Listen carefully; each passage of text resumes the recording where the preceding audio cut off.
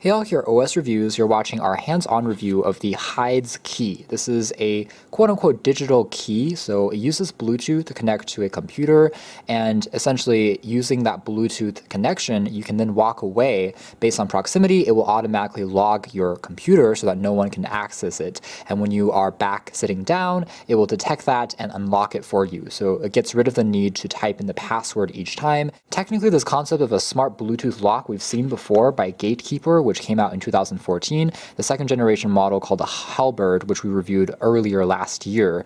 Um, so this is actually priced at $50, which is the same price as the Gatekeeper. However, it does have a smaller design with more colors to choose from, which could be more attractive for customization and also promises to have a few extra features. It's also secure, has an OTP generator and two-factor authentication for keeping the passwords that you're storing on the uh, product itself safe, and it's compatible with many devices, including mobile platforms like iOS and even Android. It's using a Nordic processor in addition to a CR2032 cell battery that can last up to six months uh, after you need to swap it out. All right, so the packaging here is very simple and straightforward. We've got some simple specs printed on the back, your only digital key, and there's a magnetic door or window that you can open to see what it looks like on the inside. We have the black version. Inside, we have just the Hideez key itself with a lanyard hole with an included keychain in addition to the quick start guide. In terms of design, it's a perfect square. It's very portable and small, and it reminds me a little bit of the Tile Bluetooth tracker that we've checked out in the past. Uh, but anyways, we have the Hideez key logo over there, and on the back here, we also have the lanyard strap, the company's logo printed once again, as a quick size comparison, here it is next to the aforementioned Mentioned gatekeeper Halberd. You can see that the Halberd is significantly larger and also uses a coin battery that you need to swap out. Over on the mobile side, the app is called Hideez Safe, and it's free in the Play Store and in the iOS Store. And here's a very quick demo video. So again, it's very portable. It also acts as an RFID lock, so you can physically open doors of buildings that you work with, uh, or you know, a school. Uh, so that's another secondary feature that we didn't see with the Gatekeeper that's added here. So again, the password here can be securely encrypted and stored on the uh, Hideez key itself. So you're able to then kind of sign in automatically without having to type in the passwords again. Um, and when you walk away, again, the computer is just automatically locked. And you can see the devices that you can guard, mobile devices, bitcoins, or even a bank account, uh, technically with the Hideez key. So proceeding through setup, now one thing I forgot to mention is that this little strip here is actually an LED and a button that you can physically click on to switch between the different devices you're connected to. And there's also a mono beep speaker as well. And we are now paired, so it uh, will automatically connect using Bluetooth. And uh, right now it's just trying to verify things very quickly and we can change the name of the key here. Let's just keep it as is. All right, so once we are finished setting up with the password and account information, you can technically use that to sign in even on any web browser. So you can go on a computer and still log into your account using the same uh, email and the password that you set up with. So you can use a web UI in addition to the app on a mobile device. So either way, you can log in uh, to your account. See the alarm.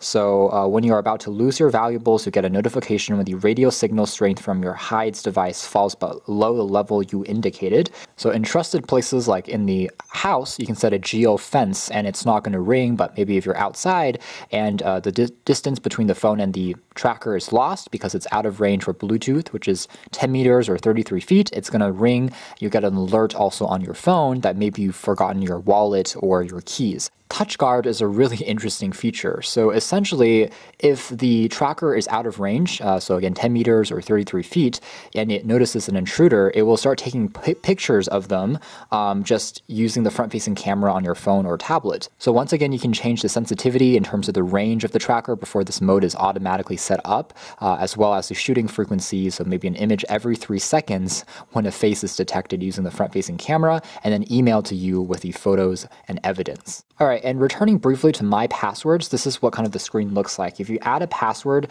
uh, on the uh, phones app, you will notice there's going to be a name that you can set and then the website URL that you want, followed by the kind of login password down below there and also a secret question. And you can save it and uh, it will keep that on file. Um, so it's pretty easy to set up uh, even using the app. Now you'll also notice a security level sign on the very bottom. So that just tells you how many of the features you've used. So I've turned on the theft alarm, I've turned on the touch guard. So my security level has increased from zero to two. And if I also start managing some passwords and also data backup, I can further increase the security level, say up to five, which is the maximum score. Basically trying to get you to use more of the, the features they have built on in. Um, you can tap on show more here and you can also do things like look for the device. So again, it will try and find it based on proximity. So if I kind of take this away, um, you can see the strength will also start to drop. Uh, I can also bring it back and hopefully the range will also increase. I can tap on this again to use the alarm on the beeper to make it sound. Tap on it again to make it stop. So as far as the mobile device is concerned, that's actually pretty cool. Now what you can't do is actually use this as a lock for your mobile phone, however. So on Android or iOS, you can't actually use this in place of a unlock pattern or a code that you would enter on the lock screen. So you still have to do that yourself. Uh, really, for a mobile device, what it only does is track your passwords in addition to act as a theft alarm uh, for your keychains, to find your devices, and also a touch guard for taking photographs of people who've maybe stolen your phone. So on the computer, we've visited the Hideez website. Under downloads, we can tap on the Hideez safe for the respective operating system. Windows, in our case, it also works with Mac OS if it's running on El Capitan or later. After signing in with your account, you can add the device. So we're going to open up Bluetooth settings and try to connect it with the Hideez key here. Now this brings me to one point of difference with this and the gatekeeper that I just remembered, which was that the gatekeeper for the computer part actually uses a IR receiver, a nano receiver, just like on a computer mouse or keyboard that you may already have. So in the box, it includes this USB dongle that you plug into the computer for it to work as a lock. And then for the smartphone, it uses Bluetooth. But with this, uh, the Hideez key, it uses Bluetooth for everything. And that means if your computer doesn't have built-in Bluetooth, you have to purchase a, a USB dongle yourself because it's not in the box.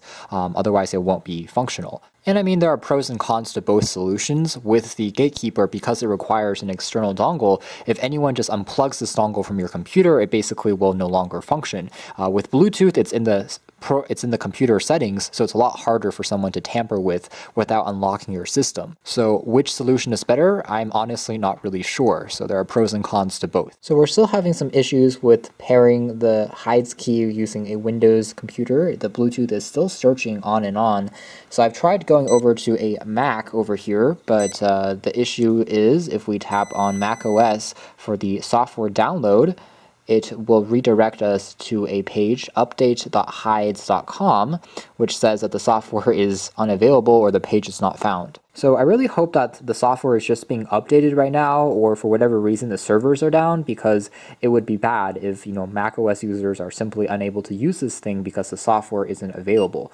All right, so switching over to another computer with Windows, uh, finally the setup is at least working, and it's actually found our uh, Hideez key without any problem. So again, moving away from the device, our computer will lock itself out, so we can uh, enter our computer's password for the login, and it's going to verify that, and now it's done. There's also tutorial videos, but we can tap on finish.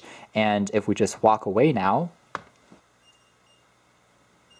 we see that the machine has been automatically locked. And after coming back closer to the computer, you can see it's been automatically unlocked. So it is indeed working just like with the gatekeeper. You can set the proximity. So if it's more sensitive, it will try to unlock faster uh, before you move away too far away. But if you have it at the maximum setting, maybe it's only going to lock your machine when you are 10 meters away. So you can adjust this accordingly. Other things you can set here include, again, managing all the passwords you want to keep. So you can import a CSV file. So that's uh, a comma separated values. So you can use any notepad or even Excel document to type in the passwords and you can import it all at once or do it manually one by one. So you can tap on add, for instance, and you can Again, the interface is very similar to the mobile device. Enter the website, the account name, the login, and the password, and you can save it. And uh, the next time that you enter that uh, password field, simply tap on the button once, and that information will be automatically filled in. Other things you can do include various key combinations, such as double tapping on the key to unlock the machine, single tapping to manually lock, triple tapping to automatically fill in to a certain website. So again, all of that can be programmed using the app so that's more or less it for our hands-on review of the Hideez Key digital lock. I think that it's a very clever concept. It's portable, it's fairly easy to use.